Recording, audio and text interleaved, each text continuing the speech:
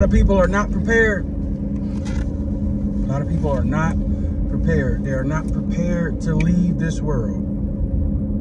Looking at a couple scriptures in Ruth, when Ruth's husband died, she hung around her mother-in-law, and her mother-in-law said, "What? Why are you hanging out with me? You think uh, I'm going to give you another husband? I'm too old to have babies now." You need to prepare yourself to move on. She wasn't prepared to meet Boaz at the time. Now, if you look at the bloodline of Boaz and why that uh, Ruth and Boaz marriage was so important, you figure out what son was born from Boaz and Ruth. Jesus told the rich ruler, hey, sell all you have prepared to follow me. He couldn't do it. Wasn't prepared to let things go, to let the past go, to let possessions go in order to follow and go with the king. The five foolish were not prepared. They had to go dibble and dabble in the world because they were not ready to meet the bridegroom. A lot of people standing in line with us right now, but they are not prepared. Sure, just, uh, antsy, always moving around, can't be still. There's something in that spirit that's not allowing that person to focus. A lot of people are not prepared to let go of the past, not prepared to let go of the things of this world. And that's all the Bible tells us over and over and over again, is to prepare yourself and get ready. But a lot of people are not ready. They're not prepared. And we know a lot of those folks who are not prepared. Think about, again, Ruth hung around her mother, Nomi, or Noemi. And then her mother had to speak wisdom to her. Hey, you've got to get yourself, you got to let that go. You can't allow yourself to stay in a grief spirit either. Grieving about things that happened in the past because it won't allow you to move forward. At the time that the death happened to Ruth, she was not prepared she was still in mourning. But it's only so long that you can stay in that. Because you got to get prepared. Jesus told them, he says, told the ones that he come to follow. And they said, well, we got to go bury our dead. He said, let the dead bury the dead. God is not a God of the dead, but of the living. The dead are resting. They know nothing, the Bible says. And if you're not prepared, you're going to miss the time of the calling.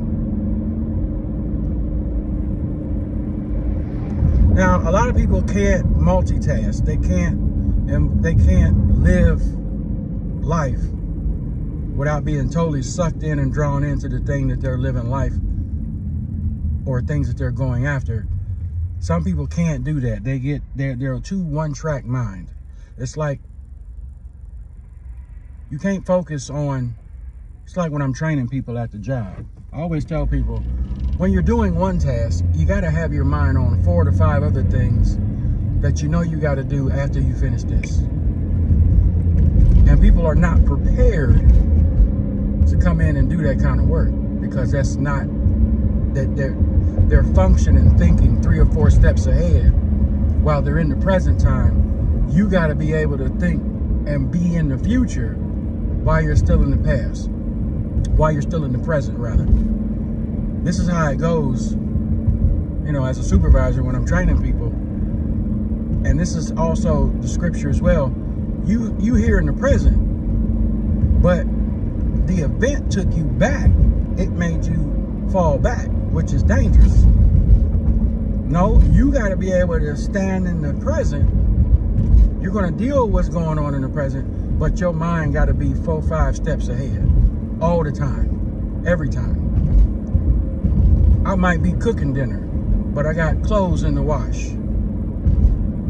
I got to go pick my children up and I got to go while I'm currently working in this situation. I'm preparing myself to be ready to make three or four other moves.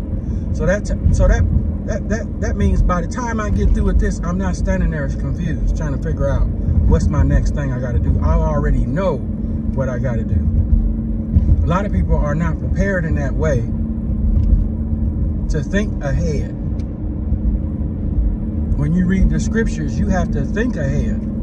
The Bible is telling you it's already been done. But are you prepared to move on from this thing that you're stuck in right now?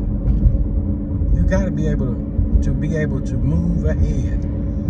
We can't go backwards, folks. Going backwards is, is a detriment to our spiritual health and welfare and well-being. And not being able to let go means there's unforgiveness there. And you're not ready to move forward. You're not ready to drop the things of this world. The rich man went away sorrowful because Jesus told him, sell everything you got if you want to come roll with me. And he couldn't do it. Why? He was not mentally prepared for the answer he was given or received from God. A lot of times we get we, we get a word and it ain't what we ready to receive. And you'll stand there at that door as God shut it, waiting for him to open it again. And he's already got other doors waiting for you to walk through. And you're missing things because you are not prepared.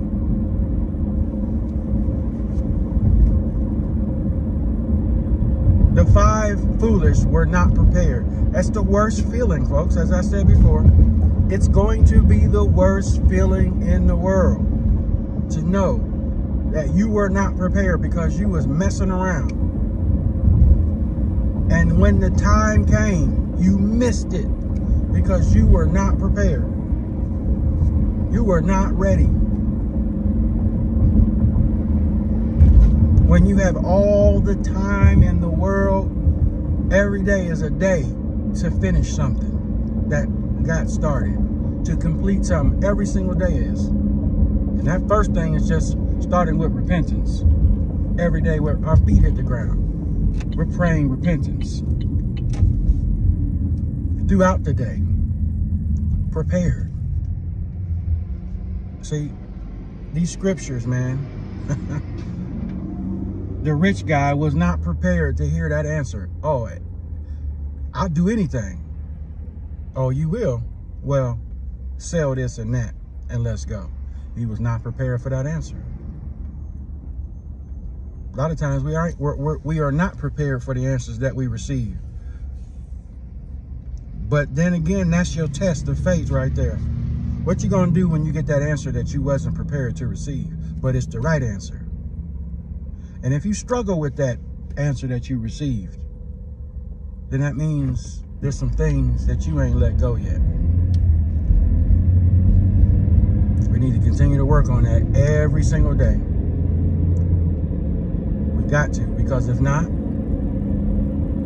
we won't be prepared when the king comes and he's at the gate. Let's stay prepared. Peace.